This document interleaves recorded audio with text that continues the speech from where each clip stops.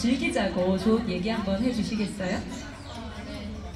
아, 여러분 오늘 우리와 함께 아, 한국하고 이제 참석해 주셔서 너무너무 감사하고요. 내년에도 다시 한번 이렇게 해봅시다. 이야 거의 지금 행사 주최 측처럼 너무 의미 있는 이야기를 해주셨어요. 고맙습니다. 앞으로도 잘 부탁드릴게요.